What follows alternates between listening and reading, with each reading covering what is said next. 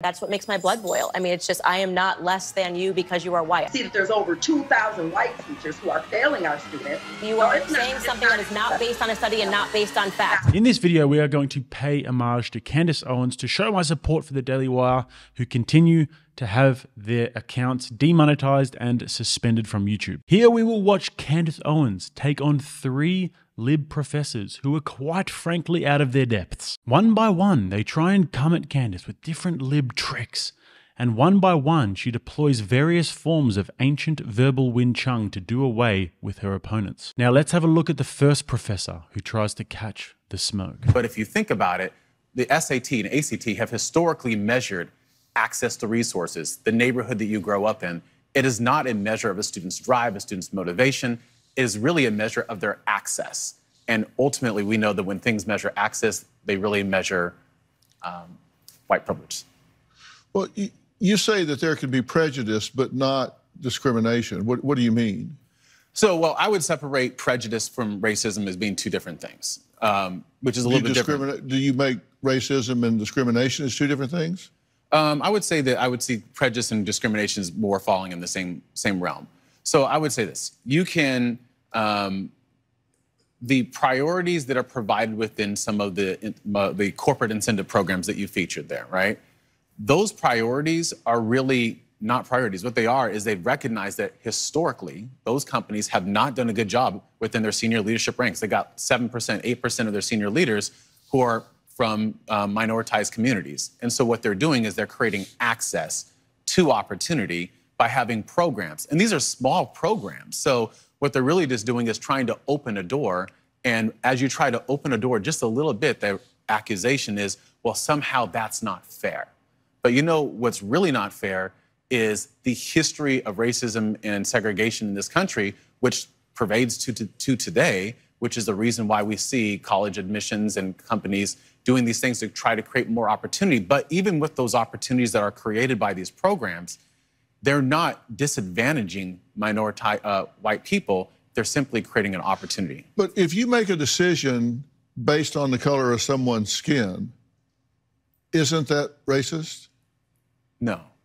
If you're making a decision based upon someone, the color of someone's skin, is that racist? I would say no, because in this particular case, what you're doing is you're trying to rectify a historical wrong. One simple question from Dr. Phil, who, by the way, is undoubtedly red pilled. He definitely smokes cigars, drinks whiskey, shoots guns, and listens to Rattlesnake TV in his spare time. If you make decisions based upon the color of people's skin, is that racist? No, it's not racist when we do it, it's only racist when you do it. Okay, Professor. Gotcha. But you see, the problem with that is that that's actually the definition of racism to discriminate based upon skin color. And I haven't really seen any programs that are designed to help the people living in trailer parks in Appalachia. Why aren't they worried about those people? Why don't these lib professors have the same desire to put out their virtuous hands and pull them up from their position of oppression? Now, on to the next part, where Candace Owens is about to bring up the man that can only be described as the kryptonite of the woke race hustling left. The one man that they wish never existed. The man who has been systematically and unequivocally debunking their BS for decades. The one whose name they do not speak. Policies are harmful also to the people that they purport to help. Um, and we have all of the evidence there to look at uh, when you artificially place a black American into a school in which they do not belong based on their knowledge, doesn't mean that they go on to get A's.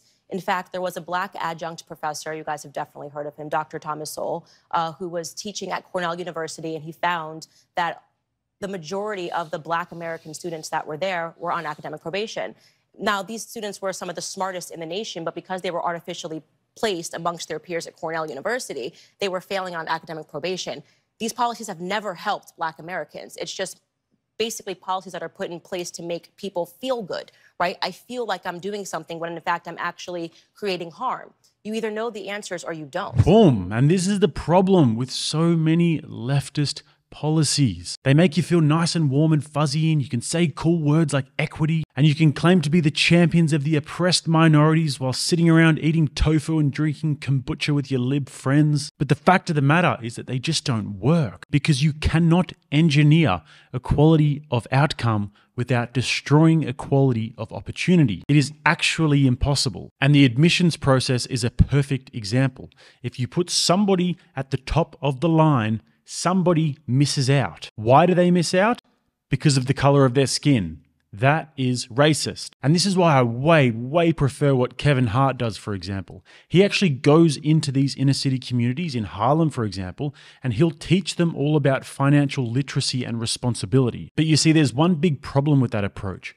If you teach them how to stand on their own two feet, they won't be dependent on you anymore because they may just realize that all of those opportunities that you told them that they can't have because of the color of their skin were right under their noses the whole time. Now let's watch Candace continue to take scalps, but just watch closely here the language that they use. It is such a typical tactic. They hide behind fluffy words like holistic and constellation because that's all they know how to do. They can't actually break down what they mean in any logical way, and Candace is having none of it. You're right about uh, Thomas Sowell. He also said equal opportunity policies are against racism. Affirmative action is racism under new management. He said it just doesn't work, it doesn't help, and never has. And he tracked this over like 50 years. Uh, and he's a, a black professor, by the way. John, what do you think about this? I think that, you know, each college admissions committee that comes up with policies to consider someone's racial identity or racial background and experiences as one of many factors in the constellation of competitive factors that are considered um, is a good thing in institutions that have historically uh, excluded uh, people of color from admission uh, to their universities. Can I just ask a question? How do you consider it when we're telling you factually, in effect, it is a bad thing for the black students? What are the constellations of factors that involve them thriving or not? Is it solely due to their race? Uh, no, it's it's due to their intellectual capabilities, which is how students should be judged. And I do want to say And one. Is that limited to just their race? It's not limited to just their race, which is why that would be an equal policy if you allowed people to be judged based on their merit, you know, on their merit and not based on their skin color. Yeah. It also, there's something about it that's very patronizing. You're a black person, so I assume that you can't get on this school based on your merit. I don't think Sasha and Malia Obama are people that have struggled and therefore should be allowed to get into the college universities on a higher basis than white kids that have worked harder than them, especially Asian Americans, which we never discussed, um, and are probably the most discriminated against in this country when it comes to universities. Guys, I'm aware that some of you have watched my previous videos and not liked them and aren't subscribed to the channel, and I'm actually seeking reparations for that. So if you wouldn't mind taking a holistic approach to this very complex issue by liking the video and subscribing to the channel, that would be a great step in the right direction in terms of combating a range of social inequities and also a constellation of historical injustices perpetrated upon me, the victim. When you say, hey, we have black students at a particular school who aren't performing at that school as well, the immediate assumption that you're making is, well, maybe it's because they're not smart enough, they're, they're not good enough, or they don't belong here. Whereas it could be about the experience that they're having at that institution. Professors who believe that they're not intelligent enough, that they don't have the capability to do the work, that they see them as criminals, deviants, dangerous, up to no good, or they talk about them with the they statements. They're lazy, they don't care, they don't really belong here. Uh, they're only here for the financial be. I'm giving you actual facts. No, I'm giving we you can- actual we facts can based upon fantasize, you can say, well, maybe they just don't feel done. good. Um, but that's not the case. I mean, I went I went to university. I did not feel good, right? I, I didn't pull the best grades in high school. Probably got into a better university than I should have gotten into based on my performance in high school. It wasn't because of my feelings. It's because I wasn't focused on it. And that we're talking about a cultural problem. What's going on back at home, as was in my circumstance, and none of that is because of institutionalized policy. Um, it almost seems like you guys refuse to accept that you know black students aren't performing well. You feel like you have to have this burden of responsibility when in fact if you actually wanted to help, you would look at the facts, re-examine the fact that it's not helping anybody. It's not helping black Americans to artificially place them into universities and you'd make effective change. But you're making the assumption that black students are academically inferior, and they're not. No, they're you some are of our most actually. That's, brilliant that's, what, that's the, that's that we the have. basic. No, no, no. That you are making the assumption that they are inferior. You just said that they don't belong there. Policies.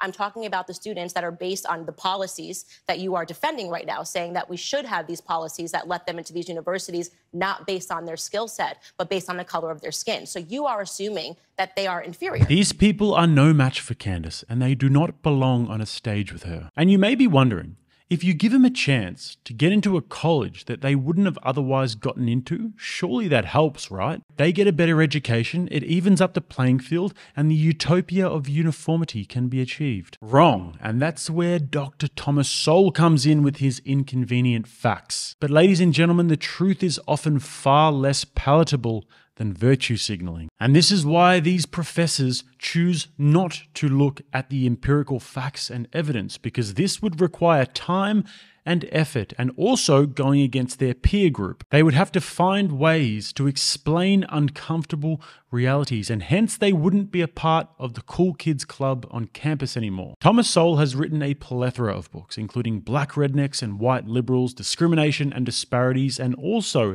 Affirmative Action Around the World, where he compares affirmative action in America to the many different programs that are similar across the world. And I won't get into the weeds of it now, but if you guys do want to see me do a deep dive into that subject or any other subjects that Thomas Sowell has covered for that matter, leave it in the comments. But one such example that he cites is that when California banned affirmative action, black students started to graduate at far higher rates than before. They got much better GPAs and they were doing much better in subjects like math and engineering because the students were now going to the parts of the university system that better fitted their academic preparation. So they were studying at their own level rather than being put into these courses where they're out of their depths and flunking out. And guys, I was a terrible student. I got a really bad score at the end of high school. It's called an ATAR score where I'm from. And if they had have taken me and then put me into some high level university, I would have 100% failed. But back to Candace, and this language always amuses me so much. This guy actually thinks that he sounds really smart and he's making a good point because he keeps saying the word constellation. And unfortunately, guys, he's not done with it yet. Him and his professor buddy are about to take the buzzwords to a new level. But it's about to get a lot better for us guys because Candace Owens is now being backed up by the very intelligent Amala Ekpunobi from Prager U. What do you think about what we're talking about so far? Right. Uh, I'll talk to your example that you gave about the Monopoly game and a white person being able to run the track twice over and a black person starting after that. Uh, the solution is not to then pick up the black person and run them around the lap four times. The solution is to fix the game and make that equal, which would be a race neutral future. We should not be looking at race when it comes to college admissions at all. And when it comes to things like affirmative action, if we truly said we cared about minorities, it wouldn't be disproportionately affecting Asian Americans, as Candace said, like it is now. Why do we not care about that minority group? We absolutely care about all minority groups, just like we care about all students. But I think everyone has a significant misunderstanding of these policies. They're comprehensive or holistic in nature. This is one factor among many other factors. And then we say, across all those factors, looking at these and taking them in tandem, is this student best prepared? Because it's not just about your intelligence, mm-hmm. that's important. It's also about your drive, about your resilience, about your ability to overcome challenges. And that's what makes you successful. Even with those factors taken into account, Asian students and white students are discriminated against when compared to their black counterparts. How is that the case? And it seems that with affirmative action, we've dictated we care about black students, we care about Hispanic students. These are the minorities who are going to benefit Let's from this, and. Asians are not, and Native Americans. But the through line is not necessarily socioeconomic status. It doesn't seem to be resources. It seems to be that these are the minority groups that we feel bad for. We don't feel bad for Asian Americans because they have a culture of high academic standing. They have a culture of drive and of, of facing adversity. We look at black students and Hispanic students and Native American and students. we are inferior, and, and that we is pity what, them. That's what makes my blood boil. I mean, it's just I am not less than you because you are white. I don't need you to look at me and feel bad for me because of the color of my skin. And that's effectively what you're doing every time you take an application. And you say, "Oh well, this girl's black, so I kind of feel bad for her, so I'm going to put her at the top of a line." It's just it's just not necessary. I believe, right, that black Americans are capable of performing in the same capacity as their white peers. You two don't actually believe that I because actually believe if you that. support affirmative action, you are basically saying that black Americans cannot do it on their own. No, what I'm saying is that there's a history of racism and exclusionary practices. And instead, we're reducing it all the all down, all the way down, just to race. And what these admissions practices are actually doing is saying, no, there's a constellation of factors that we're considering in the holistic review of this Right, so application. remove race both from the are applications. Is basically making it about race. You're saying these are the black people, these are the white people, these are the Asian people, these are the, Na- the Native American people, as you mentioned. But as one of the audience members said, what about people who are of mixed race? You know, I'm of mixed background. What am I supposed to mark on an application? Am I supposed to mark multiple boxes? And plus, Mark if you are painting people Mark black. as an oppressor, if you're white, That's a and then terrible saying thing to that tell you're someone to oppressed Well, it's the truth because you're you of believe in color, affirmative action. So I said Mark Black. If you're a mixed student, I, I, I'm in a, I'm in an interracial relationship, so I can speak to this. I have a son that's half white and a son that's half black and a daughter that's half white and half black. They're going to mark black because I know that there are people like you at the universities who will say, well, because this person is black, I'm just going to let them in. No, they're going to mark black because they're black. Well, they're half black and half white. They're they're they're they're they're both, right? So it is true. You overlook I'm half black and right. half so white. you I'm overlook so you That's how it overlook interracial students. But so what do you mean? Why, why are you saying yeah they're going to mark I've black because they're socialized in our society. So the answer is if you you can't I mean you can mark both. Can you mark both? I don't know if you can. What are you going to look at that applicant as a little bit less because they're half white? How do you guys figure that out? How they look at it is, again, Holistically. holistically, ah, I across a that number word. of I different love a factors. buzzword. I love me a buzzword. Holistically and racial consciousness. Oh, yeah, reverse discrimination is a It's not buzzword. racial discrimination. It's just discrimination. Discrimination. It's just racism if you're judging people on the basis of their skin color. I don't know why this is so difficult. I mean, you have to go to through an extraordinary amount of school. You ha- almost have to have a PhD to not be able to see this. We're talking about holistic admissions, and we're talking about how that, and, and I know you don't like that word, but that's just true. it. That's what it's called, or comprehensive. You can call it that too. So, once again, nice sounding words. They make you want to eat a salad and drink a fruit smoothie and go stargazing, but they actually don't solve anything. In fact, they do the opposite. And Candace Owens raised a great point here. And this is actually something that's a big issue because, unlike gender, Race is actually a spectrum. How black does one actually have to be to qualify for this? And once you keep going down this path, you realize that there is actually no logic to this whatsoever. And that's why you get people like Elizabeth Pocahontas Warren the audacity to claim to be Native American. So Candace did a great job there of handling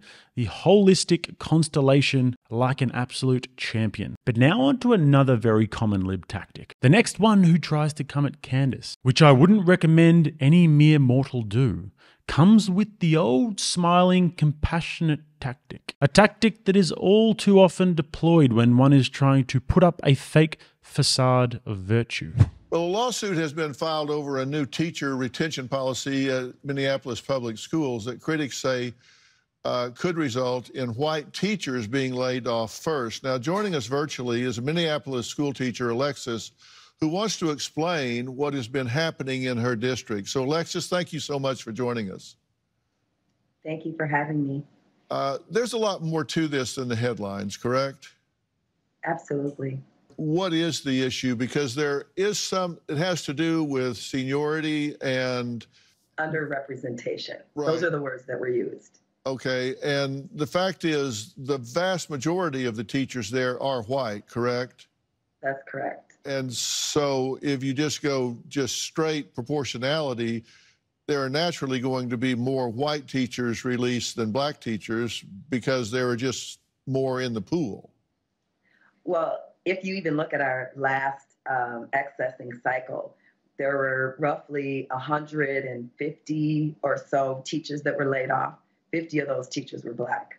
So um, you you're always going to have anytime you're you're dealing with a layoff situation where you have let me let me just give you the exact numbers. Minneapolis Public Schools, we have there are a total of 237 black teachers of those black teachers, 147 of them are tenured versus 200, I'm sorry, 2,652 white teachers, of which uh, 2,129 are tenured. So um, clearly there is a disproportionate amount of white teachers versus black teachers. So the current policies that are in place favor uh, continuing to have the same policies that produce these numbers. Yeah. So, what part of that does favor retaining the black teachers? it's not a black and white issue. It says underrepresented. So it protects uh, teachers from underrepresented populations, which underrepresented could be based on sexuality, it could be based on gender.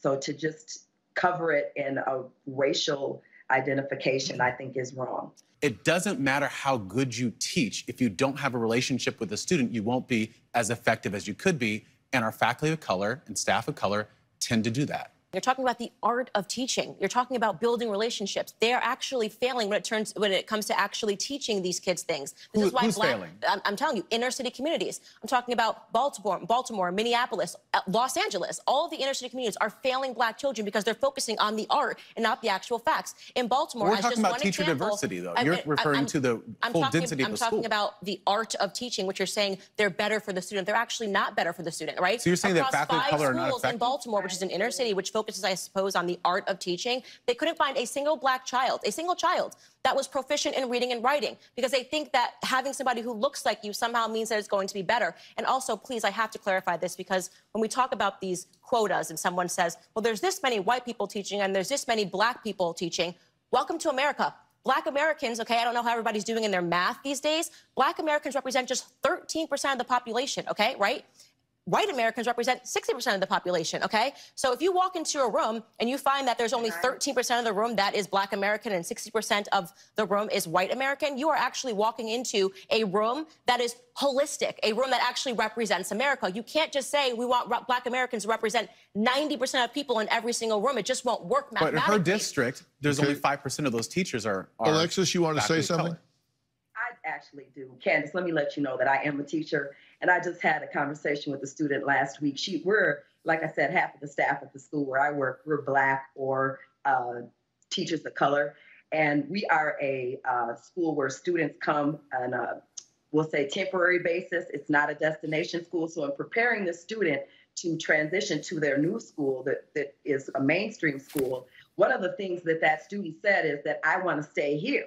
I want to stay here because there's more black teachers here and I feel more comfortable around black teachers. So I, I just want you to know that it's not necessarily a matter of the students, the art of teaching that makes these students feel more comfortable, but there is research and science that shows that when you have a teacher that looks like you in your classroom, you do better. And also, I just wanted to say with respect They're to not doing the, better. the numbers, uh, with respect with respect to the numbers, that's because you see the numbers, right? You see that there's over 2,000 white teachers who are failing our students versus the 237 in the district that are getting cycled around to different schools That's based just, on hiring that's just policies. incorrect. That's just incorrect. You you No, are it's not. saying something not. that is not based on a study and not based on facts. Just because a teacher looks like you does not mean that you are going to perform better in that class based on your Um, academic abilities. Coming up, how do we address? Oh, how I would love, with all of my heart, to see Candace and this teacher sitting across from one another for two hours and doing a long form podcast. We started to see the compassionate, kind, virtue smile mask come down a little bit when she was talking about white teachers, but I genuinely think that it would take Candace Owens no longer than three minutes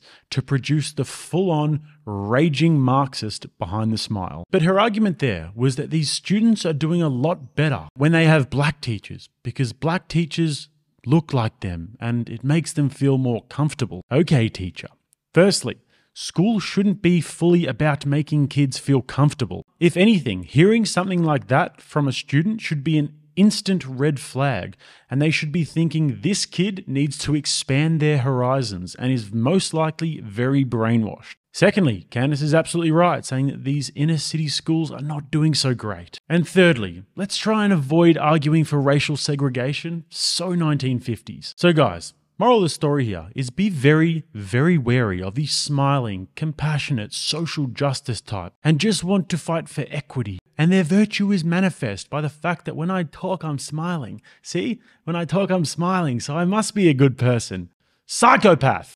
That's it from me, guys. Make sure to go find me on Twitter. I'm just getting off my training wheels, finding my way in the world of Twitter. Everything is always in flux, but I'm getting there. And if you guys want to watch another video, click right here. Until next time, I'm Jake. This is Rattlesnake TV, keeping you armed and dangerous.